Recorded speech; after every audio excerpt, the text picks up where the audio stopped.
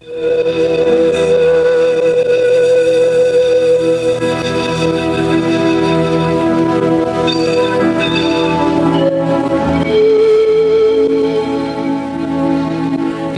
horário, a emissora da Fraternidade Rádio Rio de Janeiro oferta ao seu coração mais um programa Culto Cristão no Ar. Participe conosco.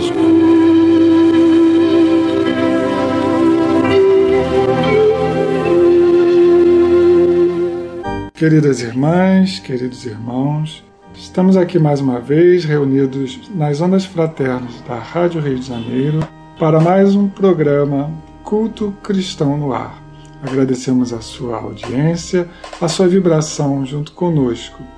E participando deste programa, temos aqui eu, João Carlos Lima de Menezes, meus pais Eni e Lidiênio e participando à distância, nosso companheiro César Brito, que fará o início da leitura e dos comentários do Evangelho. Então, dando sequência aos nossos estudos, passaremos aqui para o meu pai, que vai fazer a leitura da página. A mensagem está contida no livro da Esperança, Espírito Emanuel, Psicografia Franciscana de Xavier. Tem como título Donativo da Alma reflete nas provações alheias e auxilia incessantemente. Louvado para sempre o trabalho honesto que te dispões a minorar as dificuldades dos semelhantes, ensinando-lhes a encontrar a felicidade através do esforço digno. Bendita a moeda que deixa escorregar nas mãos fatigadas, que se constrange a implorar o socorro público inesquecível operação de beneficência com a qual te desfazes de recursos diversos para que não haja penúria na vizinhança. Abençoado o dia de serviço gratuito que prestas no amparo aos companheiros menos felizes.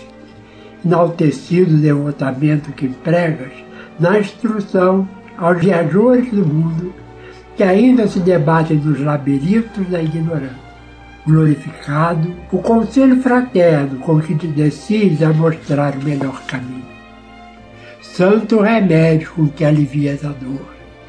Inovidáveis todos os investimentos que realizes no Instituto Universal da Providência Divina, quando entregas a benefício dos outros o concurso financeiro, a página educativa, a peça de roupa, o litro de leite, cobertor agasalhante, o momento de consolo, o gesto de solidariedade, o prato de pão. Não te pode esquecer que Jesus consignou por crédito sublime da alma, no reino de Deus, o simples copo de água que se dê no mundo em seu nome.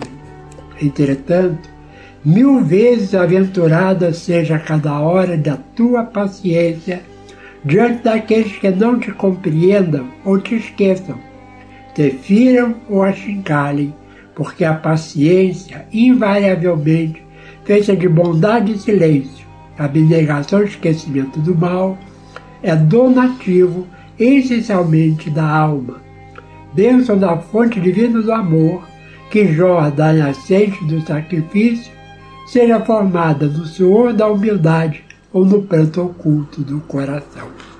Bonita mensagem, né? A paciência é o donativo da alma.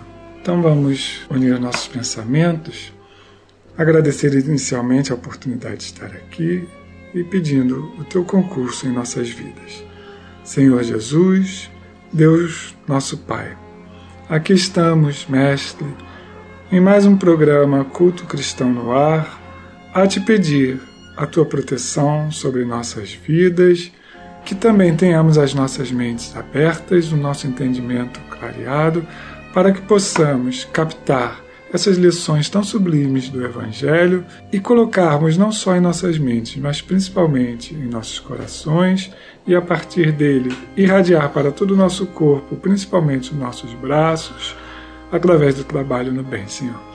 Fica conosco, ampara cada um dos ouvintes que nos acompanha neste programa, que cada lar aqui representado possa receber e irradiar essas boas vibrações que tenhamos diversos pontos de luz espalhados, não só pelo Rio de Janeiro, mas hoje através da internet por todo o mundo, através dessas lições e do programa da rádio.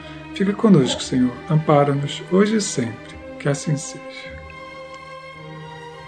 Olá, meus irmãos. É com muita alegria que estamos juntos mais uma vez para fazermos, para continuarmos o estudo do Evangelho segundo o Espiritismo.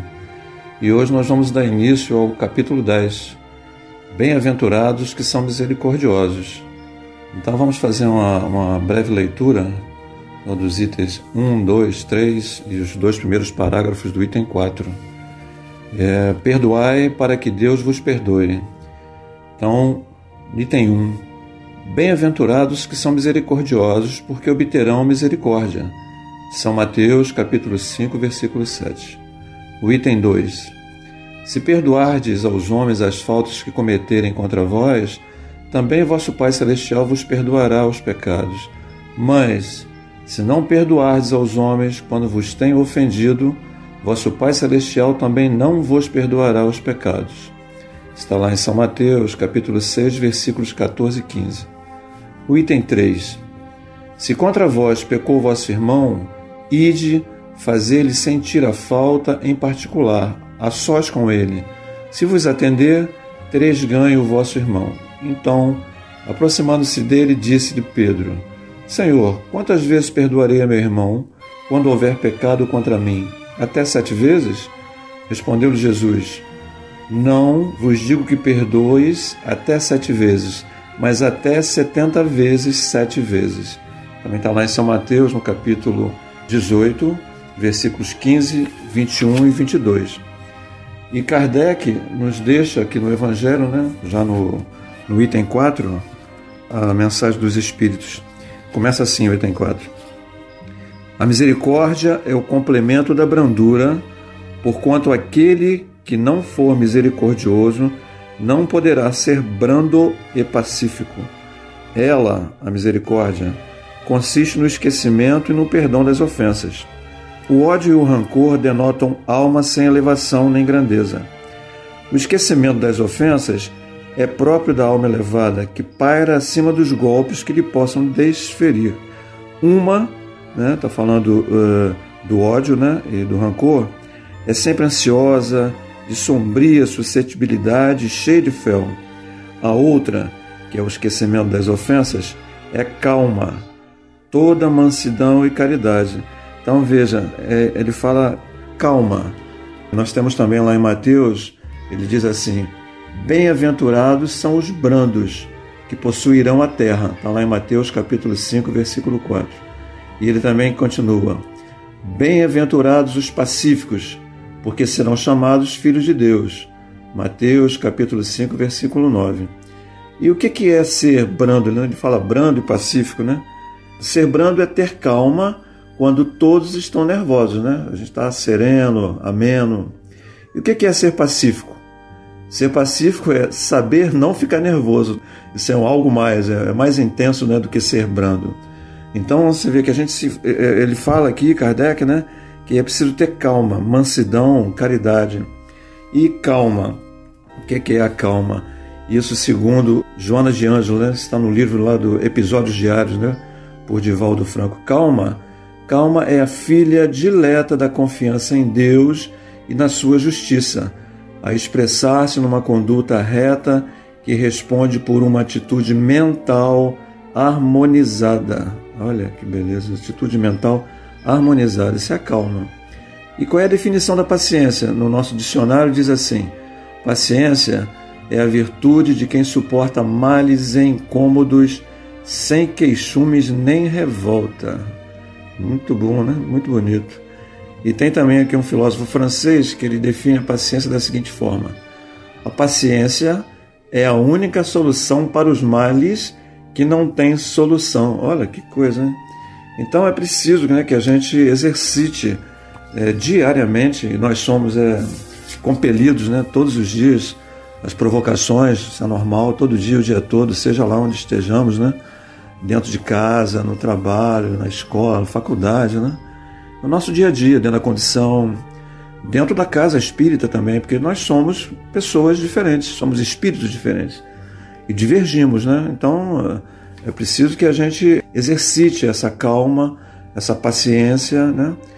Então, portanto, meus irmãos, quando essa manifestação de crueldade se fizer estremecer de sofrimento, a gente precisa também, ou quando o assalto das trevas deixa as forças nossas, as nossas forças transidas de aflição, ou quando um golpe em nosso prejuízo haja partido das criaturas a quem mais nos afeiçoamos, a gente precisa parar, precisa respirar, dar uma caminhada, refletir, escutar, às vezes até ouvir, né? É, ouvir é diferente de escutar. A gente precisa estar atento às vezes o que a pessoa está lá falando para a gente tentar buscar entender e praticar, né? Praticar o perdão, porque tem sido muito difícil, principalmente nos tempos atuais, né? A gente tem passado aí nessas situações aí que o Brasil, principalmente, e o mundo, né? Mas nós no Brasil estamos atravessando aí momentos difíceis, complicados, né? Pandemia, então é muita falta de, de paciência, de caridade, né? As pessoas não estão olhando esse aspecto né, humanitário, muita coisa envolvida, política, seja lá, né? Ser humano, né? A gente precisa, nós que somos espíritas e temos um pouco desse conhecimento, seremos cobrados, né? Sabemos que o Evangelho está na nossa consciência.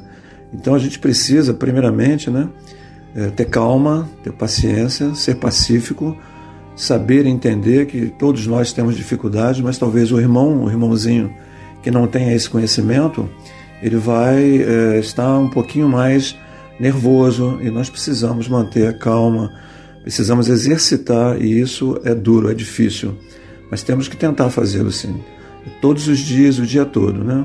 Precisamos parar, fazer a nossa prece, fazer a nossa leitura, o nosso estudo, nos fortificarmos, porque sabemos que é difícil.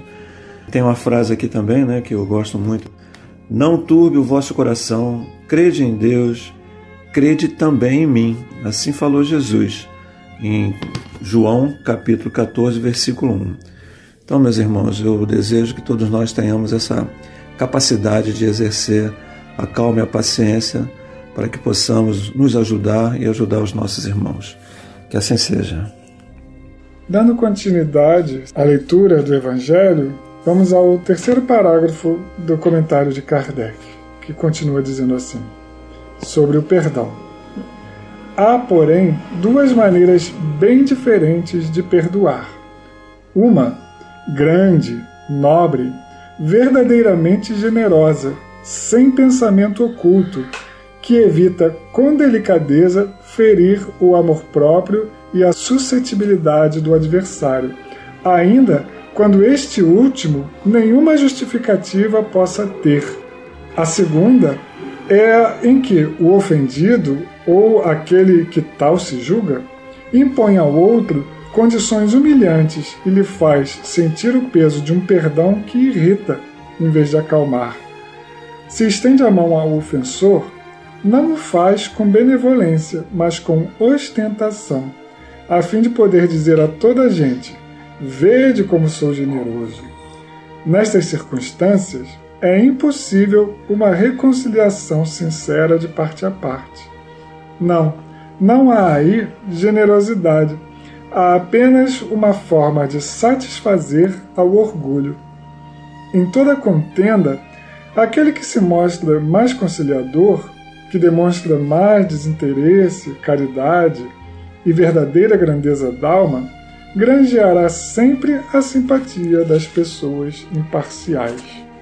Então, aqui duas formas diferentes de perdoar a primeira que ele mostra é o perdão das grandes almas, o perdão verdadeiro, aquele que evita, inclusive, constranger o que está sendo perdoado. Porque muitas vezes a gente perdoa com orgulho e faz isso de forma a que aquela pessoa que nós nos sentimos ofendidos, às vezes nem é de fato, né? a pessoa nem teve a intenção de, de nos ofender, mas mesmo que ela tenha tido, a gente quer deixar bem claro a nossa posição superior, entre aspas, né? quando perdoa. Mas, olha, tá vendo como é que eu sou bonzinho? Eu tô, vou te perdoar, tá? Quando na verdade o verdadeiro perdão ele tenta disfarçar esse o mal que o outro fez, né? minimizar o mal que o outro fez. Esse seria o perdão verdadeiro, né? E o segundo é aquele que impõe condições. Olha, eu te perdoo, mas. Né? E aí coloca uma série de condições para que esse perdão aconteça.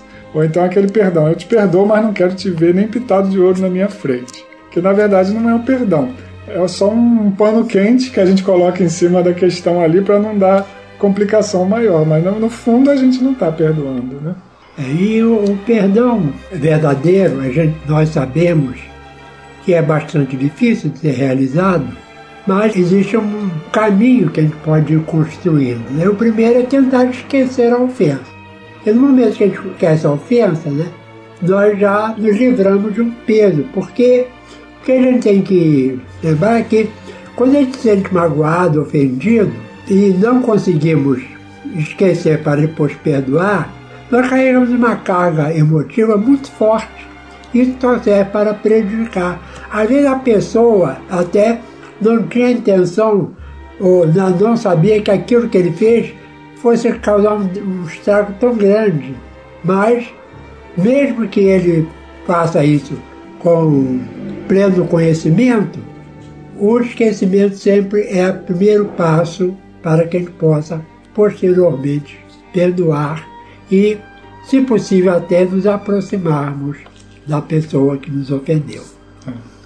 É, o perdão é algo inerente às grandes almas que realmente tiveram aquela ofensa e tiveram aquele desejo de que realmente as pessoas tomem o conhecimento daquilo que de errado que ele fez e que se procure consertar de alguma maneira aquele desejo que teve de prejudicar alguém. E isso depende muito do estado evolutivo de cada um. Cada um vai ter uma maneira de perdoar diferente do outro, né? Então isso eu sinto que só mesmo as grandes almas podem realmente olhar a situação com esse despreendimento e dizer eu te perdoo porque você foi ignorante das leis divinas.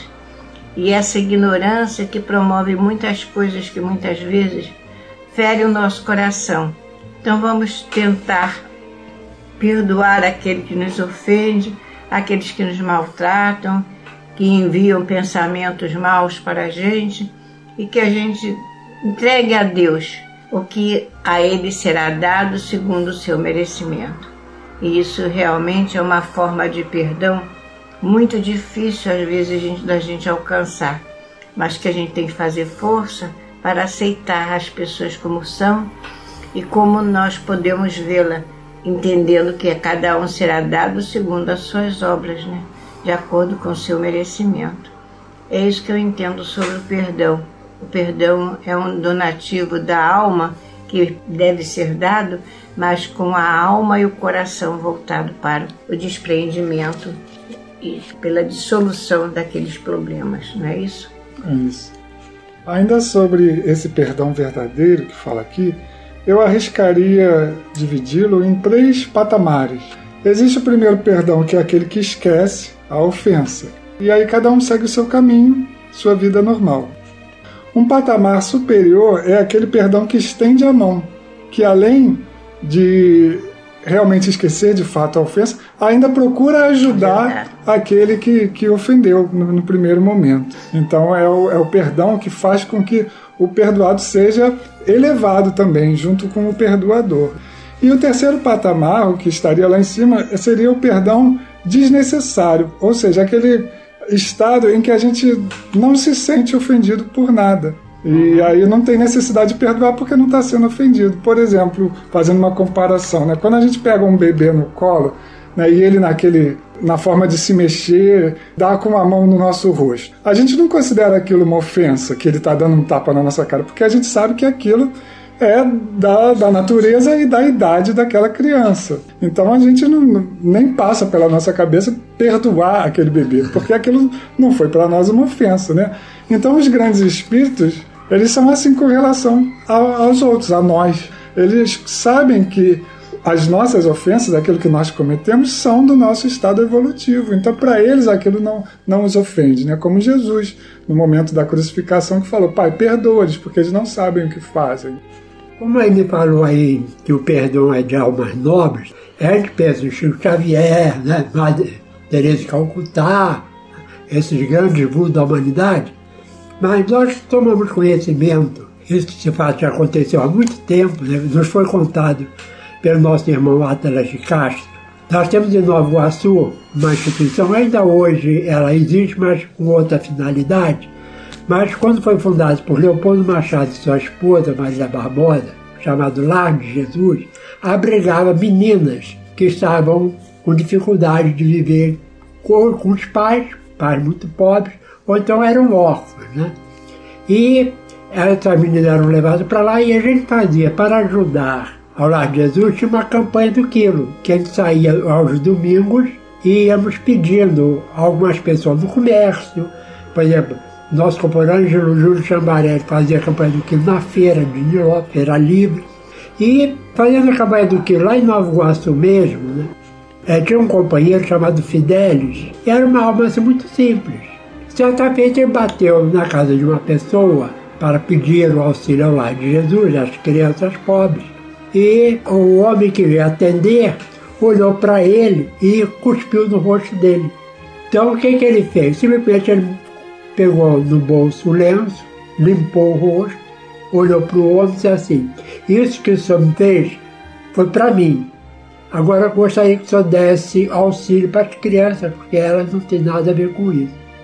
O homem ficou tão envergonhado né, que foi, naquele mesmo dia, ajudou e dali para frente ajudava e atendia o Fidelis com maior boa vontade, com maior carinho, né? Uhum. Então, note, né, aquele gesto de humildade fez com que aquele homem reformulasse toda a sua vida. Primeiro, de agressividade e segundo, de poder ser um pouco mais caridoso, né? Uhum. Uma outra forma de perdão que não é de, entre aspas, de grandes almas, né? E a gente vê de vez em quando ser noticiado na televisão, é de pais que perdem seus filhos através de, um, de uma violência, de um assassinato, né?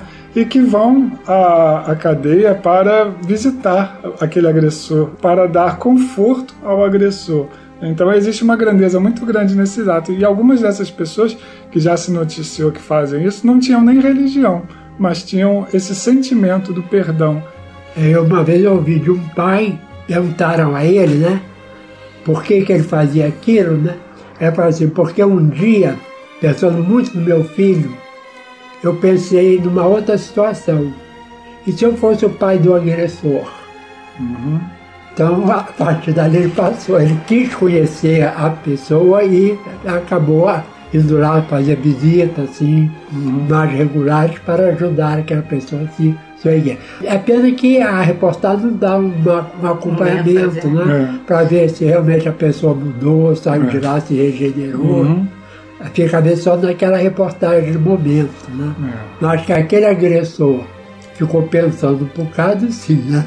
Com certeza. E terminando o nosso comentário, nós vamos ler aqui uma poesia feita pelo Gênio, do Nativos da Alma. Reflete nas provações que teu irmão vai passar, e incessantemente do que podes ajudar. Bendita seja a moeda que deixa escorregar das mãos fatigadas que se põe a implorar. Abençoado o serviço voluntário que dás, é o tempo que ofereces que um dia te dará paz. Bendito o desprendimento que empregas na instrução dos que na ignorância têm fechado a visão. Glorificado conselho, nem que sejas pequenino, que te dediques doar quem cruzar o teu caminho.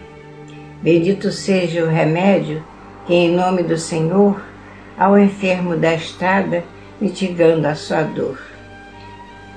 Seja sempre abençoado quanto com insistência atendes aos que te ferem, agindo com paciência. A tua abnegação é como a luz divina que ao irmão da estrada ampara e ilumina.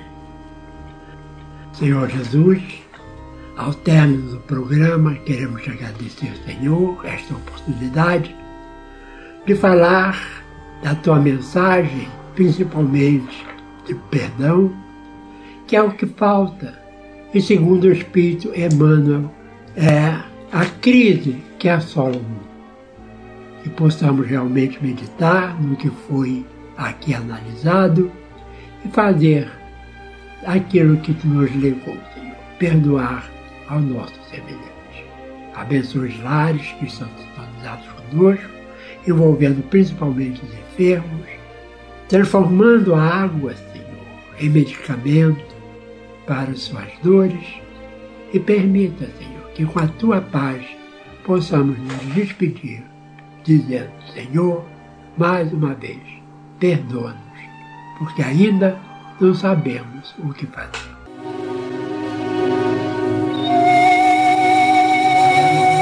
Este foi mais um programa Culto Cristão no Ar, que ofertamos ao seu coração pelas ondas amigas da Rádio Rio de Janeiro.